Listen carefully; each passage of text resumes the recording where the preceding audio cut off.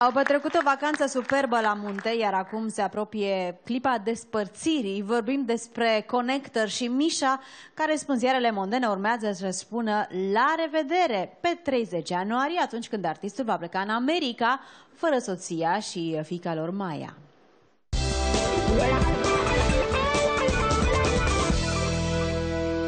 Te pup, papa